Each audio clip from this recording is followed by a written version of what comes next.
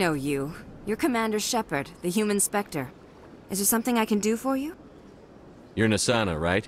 I ran into your sister, Dahlia. It didn't end well for her. What? Are you saying she's...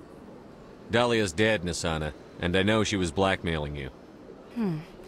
And I was all set to try to manipulate you into hunting her down for me. But I guess that won't be necessary now, will it? You wanted your sister dead?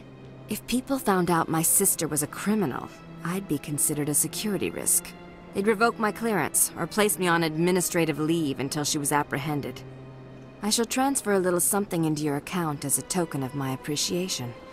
I'm sure you'll find the amount satisfactory. I'm a Spectre, not some merc for hire. I can find credits anywhere. True, but I'm the only one who can authorize you to purchase prototype Asari mods. I will get you added to our manufacturer's preferred client list. I think you'd be very interested in what they have available. Goodbye, Shepard. It has been a pleasure doing business with you.